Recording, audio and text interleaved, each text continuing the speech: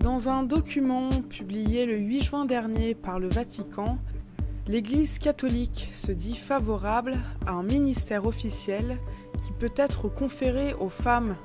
C'est ce qu'on peut lire dans les colonnes du Figaro. Quelques lignes qui pourraient tout changer au sein de la communauté chrétienne.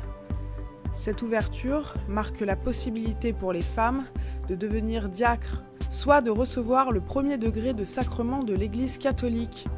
Pour le moment, seule l'Amazonie est concernée par ce projet, mais la région, traversée par neuf pays, pourrait être un catalyseur pour le reste du monde. Si elle a de grandes chances d'être adoptée, la réforme devra être entérinée par le prochain synode sur l'Amazonie, un conseil tenu par le pape et qui aura lieu en octobre 2019. L'origine des femmes diacres, appelées diaconesses, remonterait au temps des églises primitives. En 2016, le pape François avait lancé une commission d'études sur ces femmes, une opération qui témoigne d'un réel intérêt pour la question des femmes au sein de l'Église.